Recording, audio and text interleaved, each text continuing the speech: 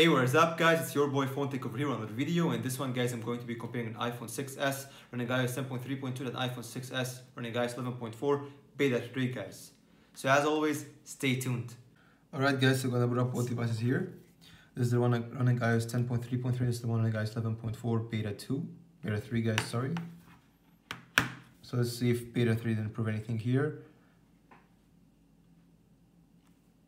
So both phones are really fast in booting up, guys, though iOS 10 still faster usually booting up devices till now, sadly. So it seems faster and the difference is like 2-3 seconds. So let's just enter the phones. See if any animation lag there. Okay, both are smooth. Alright guys, so both phones have nothing running in the background here just to start the test. So first up, calendar. Was faster on iOS 11, good stuff there, going for camera. Identical, going for maps Key loading the map itself was faster on iOS 10. Clock was about the same. Going for weather. Uh, same guys. Going for phone was actually faster on iOS 11. Going for App Store. Yeah, slightly faster on iOS 11 as well, guys. Going for Safari here. Okay, loading that page itself was faster on iOS 10, guys. Going for, say, iPads and so okay was identical there. And now guys for some third-party apps here going for geekbench 4 and i think it was a throw there guys going for subway surfers. Here. Let's see if there's any difference. Okay loading bar appeared first here. Okay definitely a wow. ios 10 was super snappy guys.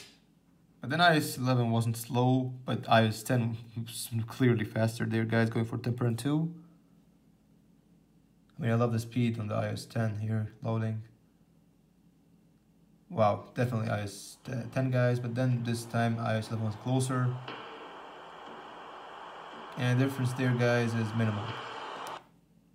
Going out, going for Mario Run. Though guys, I want to say that this phone is like three, this is the third iOS on it and it's still super fast.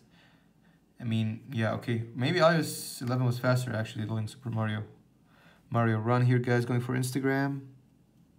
That's an important app for you guys. And okay, was actually slightly faster on iOS 10, though. was super fast on both guys, blazing fast. You won't really feel the difference there.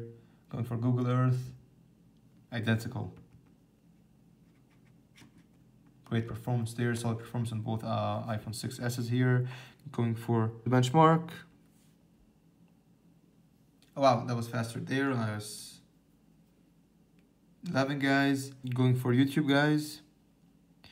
YouTube seems identical. It actually was identical guys on both. Really good performance there even on iOS 11 so iOS 11 doesn't really affect iPhone 6s yet which is a good thing. Alright guys now for some RAM management. Calendar. Camera. Maps.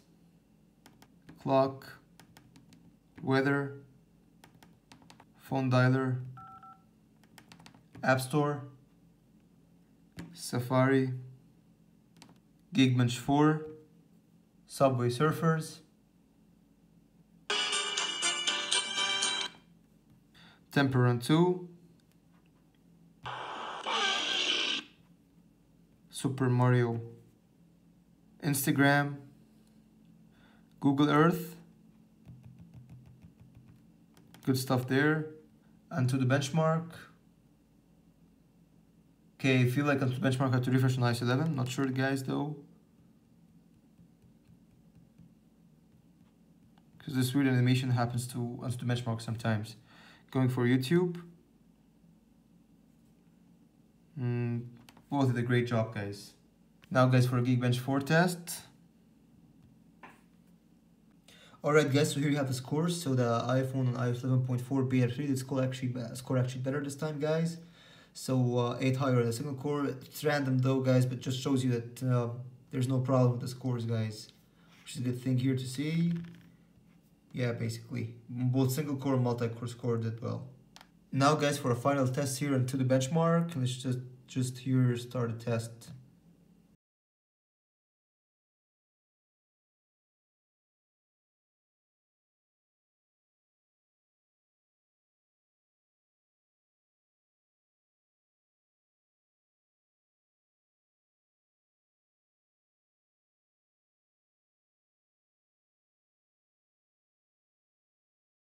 Alright guys, so here you have the scores. So there is some difference. So iOS 10, the score actually higher here guys.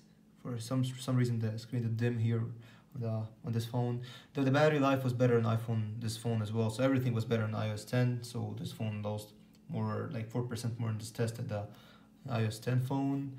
I'll show you the scores here guys. CPU was slightly better on iOS 11.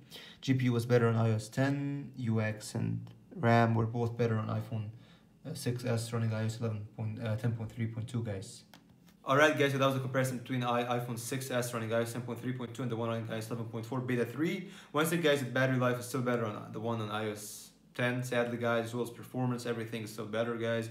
So even though some people said that 11.3, 11.4 beta 3 is more stable, fix a lot of issues with lag, but still guys, it's not stable. So um, if you're on iOS 10, just I don't know guys, it's still better, everything guys, battery life, performance, even RAM. I'm not sure, maybe this phone did refresh into the benchmark, multitasking, though iOS 10 didn't refresh anything guys. So if you like the video guys, like it, suggest other videos, subscribe for more content, peace out.